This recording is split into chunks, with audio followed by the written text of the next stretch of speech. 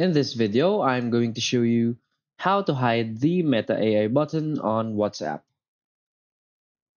So please watch the video until the end and follow this tutorial step by step to avoid making mistakes.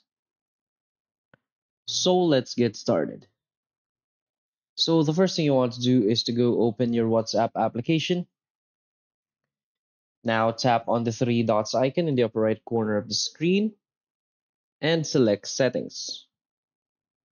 Now from here, you want to select chats.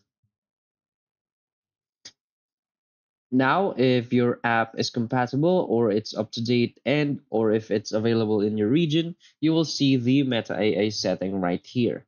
So just tap on the Meta AI setting to toggle it on and off. So what you want to do is simply to toggle it off. So by toggling it off, the Meta AI button on your WhatsApp will now be removed or be hidden. So I can't show you the exact setting right here because it's not available for me. But that's it. So if you find this video helpful, please hit like and subscribe. Thanks.